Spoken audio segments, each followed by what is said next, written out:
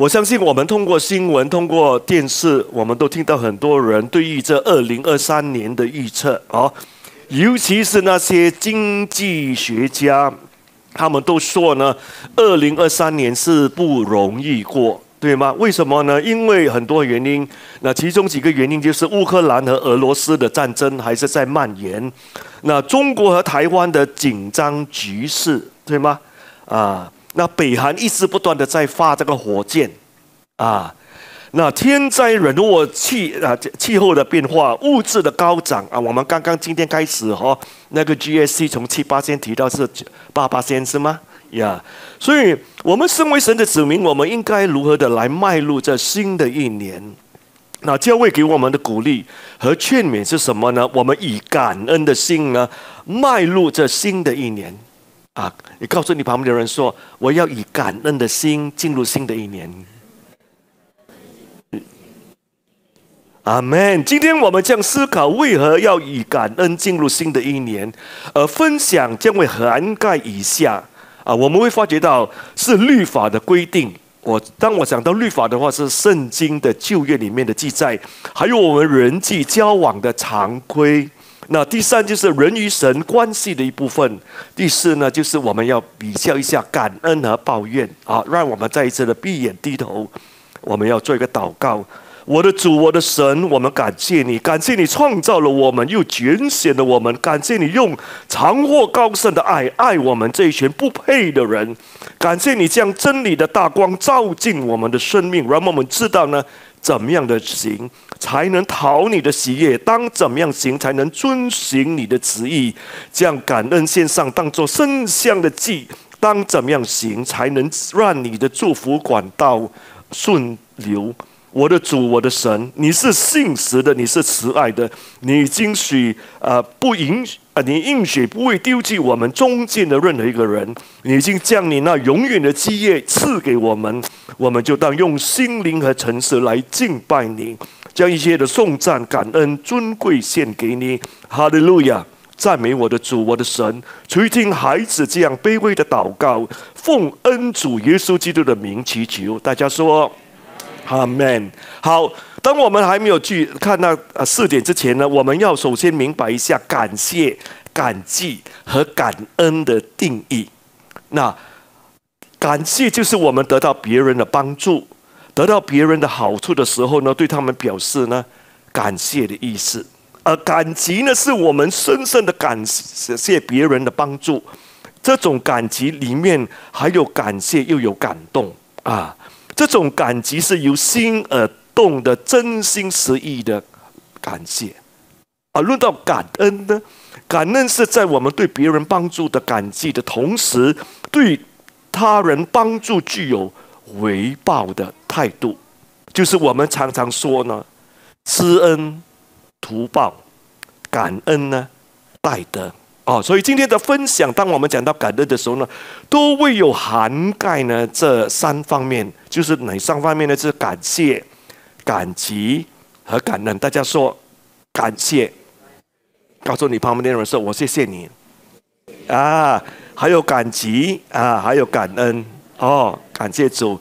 那么首先我们来看第一个要点，就是在就业的感谢，你会发觉到这是律法的规定。啊，怎么说呢？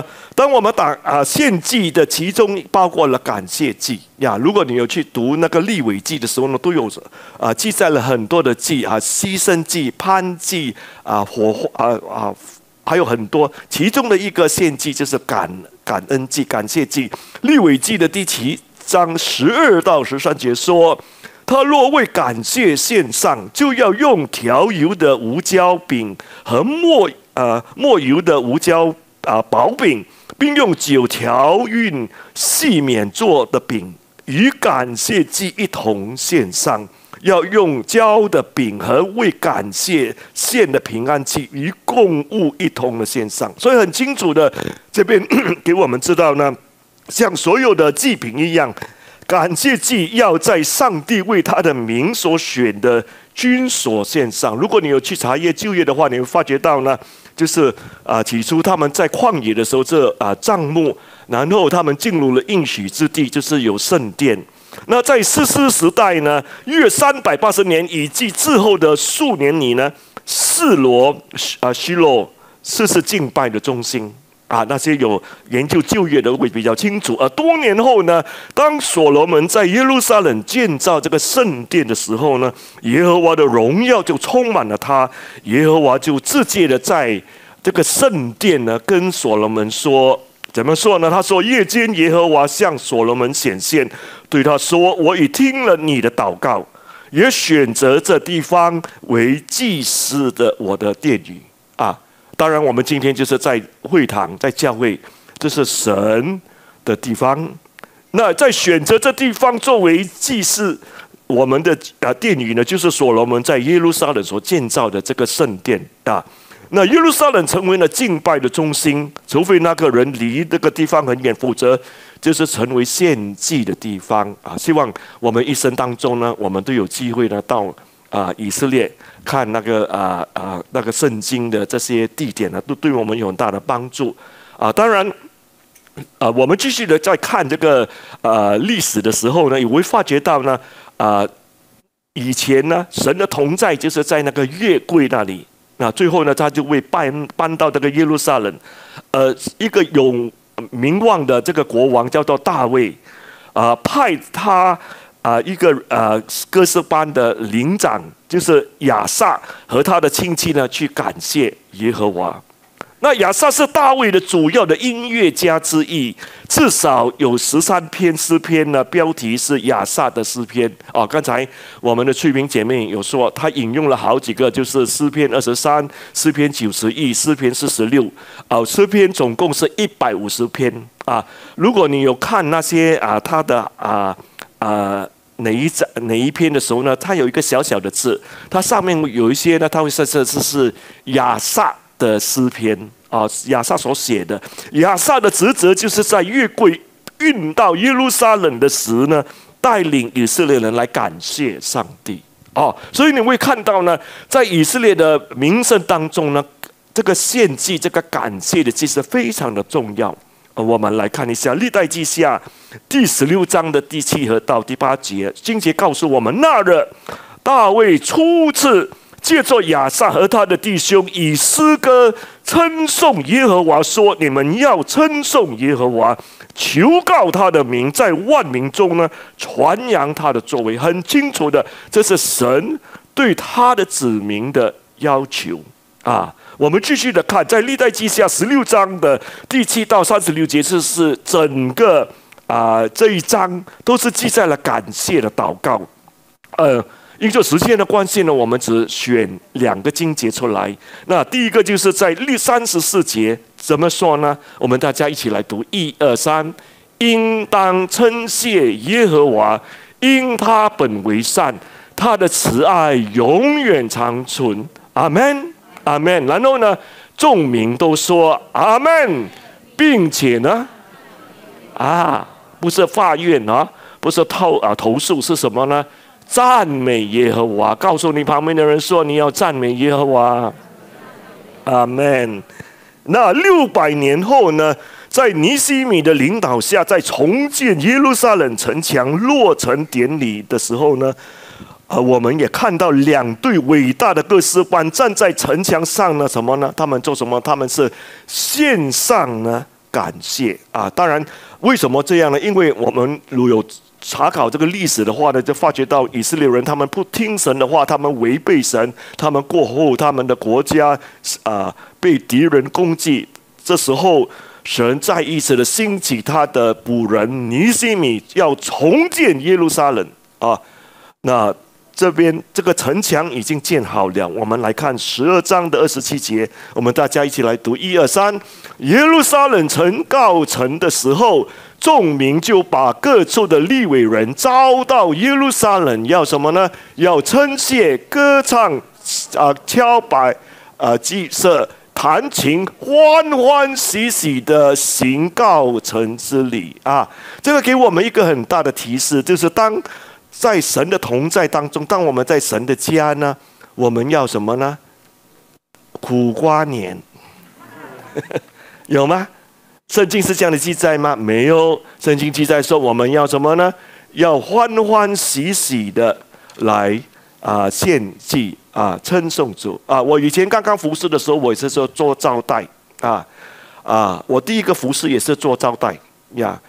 啊，我提出的时候，我我觉得很尴尬，因为我是一个内向的人。可是不久呢，我就学习。可是我从做招待方面呢，我看到呢，很多很多的人，他们是带着怎么样的心情来？有一些是先生走在前面，太太走在后面。可能我猜想，他们刚才还没有出门的时候，他们相骂。啊啊，有一些呢，他们跟你握手的时候呢，是冷冰冰的。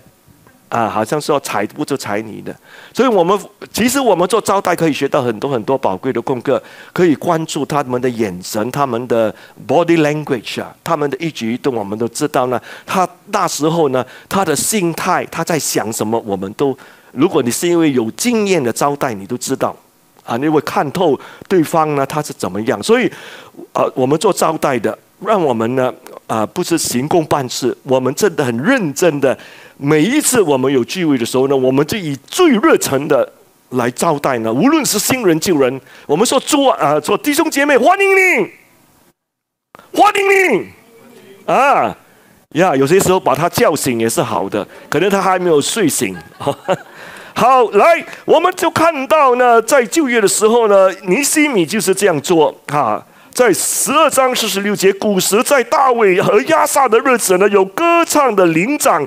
并用赞美和称谢神的诗歌，而六百年后，这次是大卫过后的六百年，那些感恩的歌曲呢，仍然的广为的流传啊！就又有一个反复出现的主题是什么呢？就是要感谢上帝。我们来看怎么说呢？一二三，感谢耶和华，因他美善，因他的慈爱不久就不存了。永远的长存，大家说永远的长存。阿门。在圣经中出现了八十一次，感谢上帝不是一件小事。告诉你旁边的人说，感谢不会是一个小事嘞。那不是小事是什么呢？大事。刚刚跟他讲说，感谢是大事啊。啊，感谢主！好，我们来看第二点。第二点就是人际交往的常规啊。我们每一日的生活都会与人有沟通呀，有互动嘛啊。我们都会碰到不同的人，感谢是人际交往的常规部分。我们通常对收到的最小帮助也会说谢谢，有吗？你们有说谢谢吗？啊，你有说谢谢吗？有谢谢爸爸妈妈吗？有啊，我们感谢餐厅的服务员为我们倒倒满了水，或者我们感谢一个陌生人走出这个大楼的时候呢，他在我们进入的时候为我们开门，有吗？啊，昨天啊，昨天牧师说，啊，他跟人家啊开的啊按这个这个钮开电梯，他这个年轻人进出过后踩都不踩他。哎，你不要做这样的哈，你要说谢谢。啊，你学一下，跟你旁边的人说谢谢。啊，OK，很好，呀，非常好。要对我们来重要的是说了，当在上店购物的时候呢，收款的人会感谢，有吗？啊，每一次啊，有一些他们就把手放在这边，啊，有吗？啊，这表示感谢。也许这次是敷衍和强制性，对说这句话的人来说是毫无意义啊，因为有些时候呢，我们变成的好像机器人，行功办事。我们说 Thank you, Thank you，可是我们的心不知道在哪里，啊啊，所以我们说的话要有有有有爱的存在，好，那表直接说我们祝你美好的一天。当结账的人不感谢我们的时候，哼，我以后不要来了，连一句谢谢都没有，有吗？啊，只有罗姆斯这样。哈 呀，如果我们意识到我们没有感谢某个人，这也是会困扰我们，对吧？如果我们是对自己啊啊做的对的话，我们啊，哎呀啊，很抱歉，刚才人家为我做的这个事，有些时候我们反省一下，他为我尽力这样的做，我们连谢谢都没有。所以，感谢是一种态度。大家说，感谢是一种态度，而不是一句空话。对了，态度是未传染的，看态度是未传染的，他需要一点的操练，但这是一个开始。亲爱的弟兄姐妹，在这新的一年，无论我们的生活如何，怎么样的困难，我们碰到怎么的挫折，你我都要学习感恩、感谢、感激。哦，只有啊两位姐妹说 Amen 而已。我再说一次。在这新的一年，我们大家要说感谢，要感激，要感恩。阿门。好，第三呢，就是说呢，人与神关系的一部分。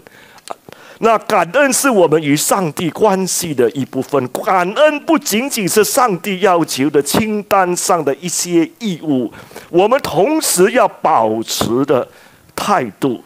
很多时候，我们认为呢，所做的一切是我应得的。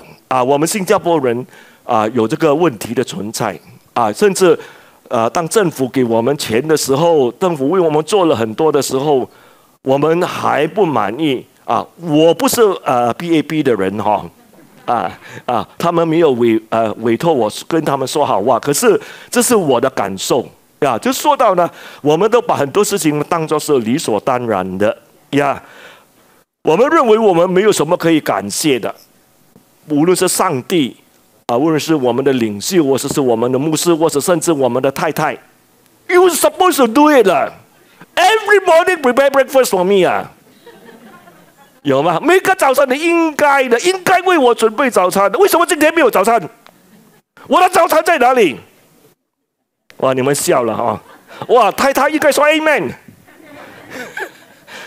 来，我们来看啊，在圣经里面，路加福音的第十八章第十到十四节的两位仁兄呢，他们在上帝面前如何的祷告？我读第一节，你们读第二节好吗？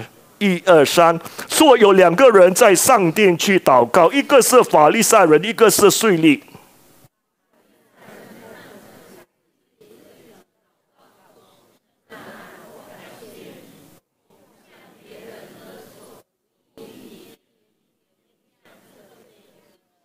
我一个礼拜的进食两次，凡我所做的，我都捐上十分一。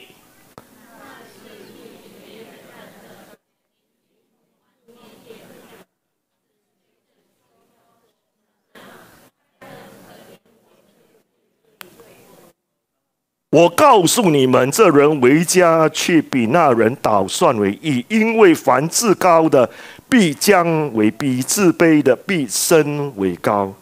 啊，我们发觉到这个法利赛人，他假装把自己想象中的优越感呢，归功于上帝啊啊，甚至说我感谢你，上帝，我比这个人更好，有吗？有些时候我们啊来教会来的太久过后呢，我们就好像倚老卖老，我们以为说我是老基督徒，我做基督徒的时候呢，你都还没有出世，或者你在吃奶瓶而已。啊，对吗？所以我们求主来帮助我们改变我们的思想。啊，虽这个啊，虽然是说谢谢，但你可以从税吏和法利赛人的祷告中呢，看到真正的感恩的这个态度。两个人都在说感谢的话，但都洋洋着啊自喜的味道。而百姓中脱颖而出，上帝不会称赞呢那个自夸耀。自呃自己赞美自己的人，好，求主来帮助我们。来，我们再看另外一个小点，就是感恩与荣耀神。那通过感恩呢，你我都能够荣耀神。我们来看哥林多后书的第四章第十五节，经节姐妹们说呢，说凡事都是为了你们，好叫恩惠因人多越发加增，感谢格外的显多。以致荣耀归于神，很清楚这个境界告诉我们：当你我学习感恩的时候呢，你我都能够荣耀神。上帝不需要我们感谢他的作为，也不需要我们认可他的行为，而感恩的需要呢，包含在我们存在这个理由是为了什么呢？就是你我通过感恩呢，能够荣耀神。啊，你们听不清楚，我再说一下啊。通过感恩呢，你我能够荣耀神，阿门！感谢主，他是值得我们感谢的。上帝也因此呢，能够呢得到荣耀啊。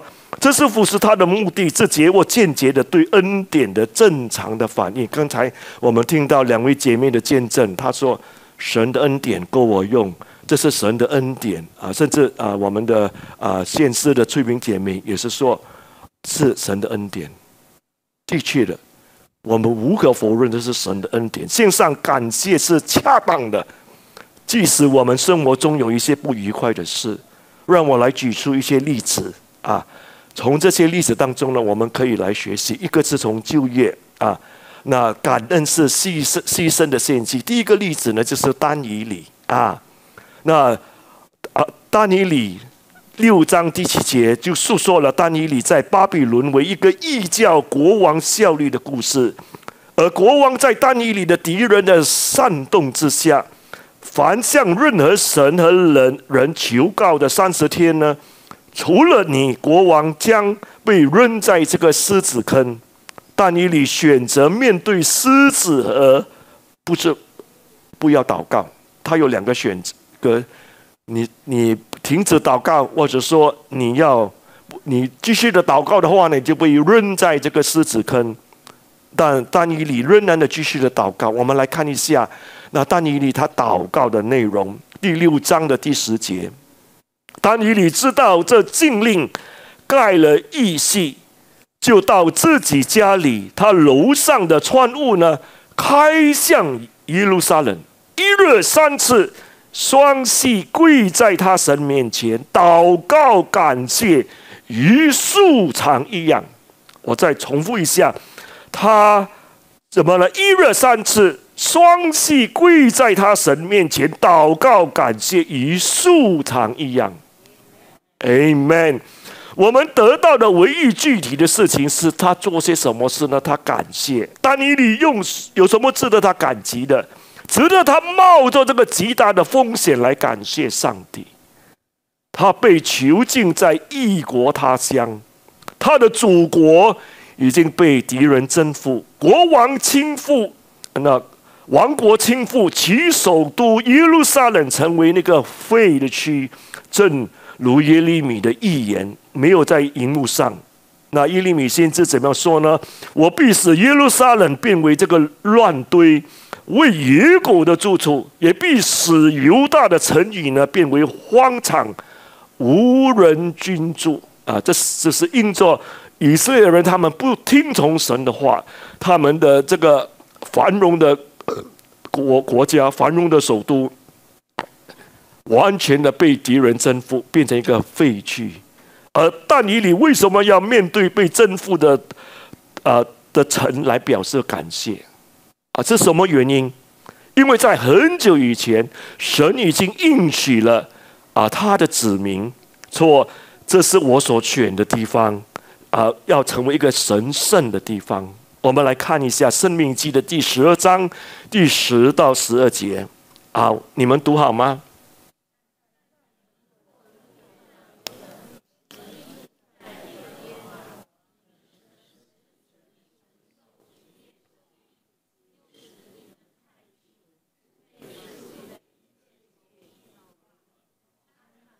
？OK，到我了。那时要将我所吩咐你的潘祭、平安祭十分取一支舞的和手中的举子举祭祭啊，并向耶和华许愿，向一切的美祭都奉献到耶和华你所你神所拣选为立为他的名的君处。哦，所以丹尼里他记得这个历史，他知道的这是神所。应许给他们的地方，虽然他在困境当中，虽然他此刻是在异乡，他在敌人的管制之下，可是他他没有忘记了神给他的子民的应许。所以当他在做这个选择当中，虽然是有冒着生命的危险，他仍然的朝向耶路撒冷，对准耶路撒冷跪下，每日三次。我们真的啊，要向他来学习，每日三次的在。啊，向着神来做祷告，好。另外一个例子就是大卫啊啊，因着啊时间，我就简略的讲。我们知道大卫是神所爱的一位人，他是一位专心爱神的人。可是，如果我们去研究、去发掘他整个生命的例子呢，他也是面对了很多很多的挑战。所以今天，如果我们说我们的问题大，我要告诉你，大卫的问题更大。他面对怎样的问题呢？他的儿子安安安呢，侵犯了他同父异母的妹妹，啊，叫他玛。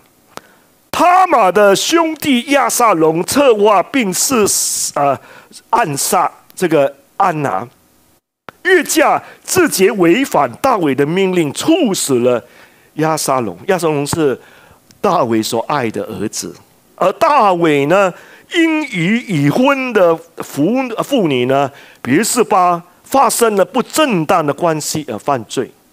而大卫呢，过后策划了为她丈夫乌利亚死，并且成功。那由于大卫犯的罪呢，他与别是巴所怀的孩子呢夭折，还有很多。因为时间的关系，我啊不能够再讲。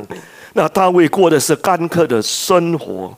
可是如果我们打开诗篇，在一百五十篇当中呢，诗篇充满了感谢神，至少五十六次。啊，所以很多时候，我们在按照我们的情绪，只有在我们啊非常高兴的时候，我们才感谢神。不不不，圣经不是这样的教导。圣经教导我们，无论在什么状况之下，我们学习的来感谢神。啊，昨天啊。图中牧师也有跟我们分享，他说他举出约伯的例子，他说约伯当他失去了这一切的时候呢，他还是感谢神。最后一个例子就是我们的主耶稣，耶稣为啊象征他自己死亡的病饼和杯来表示感谢。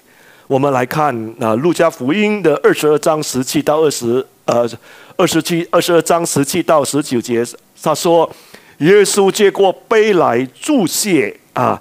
你们拿了这，大家分来喝。我告诉你们，从今以后，我不再喝这葡萄汁，这等到神的国到。他又拿起饼，做什么呢？注谢。大家说注谢。他只是要感激为这个场合提供的食物吗？或者是为了他即将赴役那顿饭的意思吗？不，他自己的痛苦和死亡。耶稣怎么为因知道这个饼和杯的意义而感恩呢？因为他清楚的明白，在不久后呢，他将会走上十字架。他知道他就会面对呢这个痛苦，可是他在这个情况之下，他还是呢感谢主。好，我们来到最后一点，告诉你旁边的人说要结束了。那感恩与抱怨啊。你有没有送过别人礼物，但他没有感谢你，反而批评礼物并抱怨送礼物者？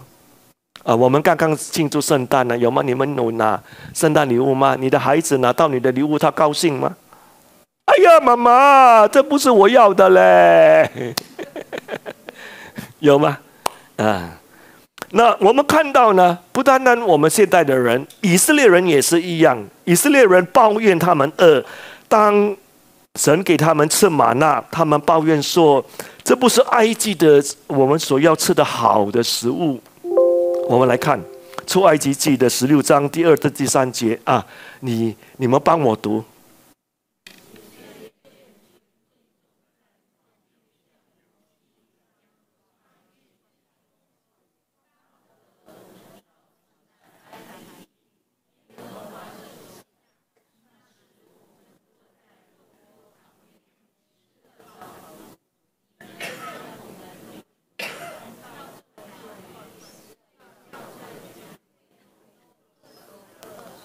啊，我们要过年了，很多人都是煮火呃火锅，不不啊，simple 有吗？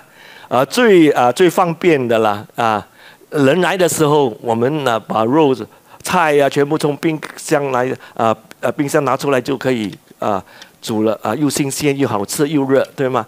呀，如果是煮的话，等这个还没有来，那个还没有来啊，很麻烦哦。啊，这时候呢，以色列人说：“哎呀，每天都是玛纳玛纳玛纳，今天又是玛纳，明天又是玛纳，拜山也是玛纳，拜四也是玛纳，拜五也是玛纳玛纳玛纳玛纳玛纳。”我不要了，我要想回去埃及吃那个火锅。啊！可是他们却忘记了，当他们在埃及吃火锅的时候，他们是在过奴隶的生活。哦，所以他们离开了埃及，但埃及却没有离开了他们。啊，这个句这句话很有意思，这也描述了我们基督徒。有些时候我们信了主，可是世界的思想、世界的坏事呢，还是在我们的脑海当中啊。所以求主来改变我们的生命。不单单只是我们，我们不要做一个挂名的基督徒，我们是要完全的改变，从头到尾都是好的。阿门，阿门。尽管看起来可能非如此，但上帝永远不会按照你的方式发送呢任何不利你的东西。啊，为什么？有些时候我们求某一样东西。神没有给我们，我们很生气，说神啊，你对我不公平啊！神啊，你看你对那位姐妹、那位弟兄这样好，给他一位好的，啊，我都得到不好的，因为神知道我们能够应付、能够容量的是多少。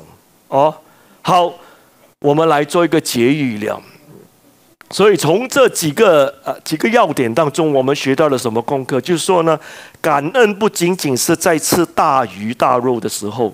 或许我们刚刚从旅行回来，哇！我们在国外，我们玩得很高兴。哎呀，感谢主嘞！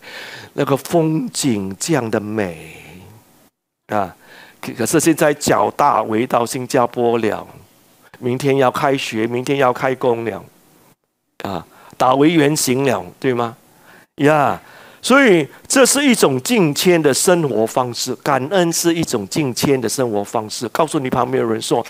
感恩是一种金钱生活的方式，很小声呐，啊，很困难呐，哦，所以一个感恩的心是上帝对他指明的旨意。可能你会说，二零二三年上帝要我做些什么啊？这是其中的一个啊吩咐，或是他的旨意，就是要我们感恩。我们来看诗篇一百章的第三到第五节。一二三，你们当晓耶和华是神，我们是他造的，也是属他的。我们是他的名，也是他草场的羊。当称谢进入他的门，当赞美进入他的院，当感谢他，称颂他的名，因为耶和华本为善，他的慈爱存到永远，他的信实直到万代。我们检讨一下，刚才我们搭进来的时候。我们有感谢神吗？哎呀，希望今天罗牧师讲短一点呐，十二点可以散就好了了。现在十二点半了，还没有散。啊，我们借着一个至高无上的挑战，永远感恩并要一切啊！我们最后看几个境界，我们就要结束了。以弗所书第五章十八到二十节，一二三。不要醉酒，酒能使人放荡，乃要被圣灵充满。当用诗章、颂词、灵歌彼此对说，口唱心和的赞美主。凡事要奉我主耶稣的名说，常常感谢父神。阿门。我们会这样做吗？我们能做得到吗？耶稣怎么那样做呢？常常喜悦并感谢，所以这是神给我们的指示。最后一个经节，《帖撒罗尼迦前书》五章十六到十八节，保罗自书给帖撒罗尼迦，我要你明白。当我们在读这个经节的时候，我们只是读它的字面。如果你去查考，当时候帖撒罗尼迦的教会呢，他们面对极大的逼迫啊。因着他们信主呢，他受到那些不信主的人的逼迫。可是，神通过保罗还是这样的告诉当地的人说：要常常喜乐，不住祷告，凡事感恩，因为这是神在基督耶稣里向你们所定的旨意。阿门，阿门。上帝不希望我们只在事情进展顺利的时候才感恩。他希望我们能够提升自己，在这新的一年更具挑战的这个呃层面，任何的情况下都要感谢、感恩，以上一切事物都能够找到安慰，抱怨呢找不到安慰，让我们享受在这个呃佳节，对吗？我们再过三个礼拜就要过农历新年了，大家都忙着预备农历新年了。可能你说罗牧师，我要申请假期了，啊，享受你和家人的团聚，享受美食，并对这一切心存感恩。所以不要让乌云毁掉你生活中最美的食物。让我们大家以感恩的心来迈进二零二三年，阿门。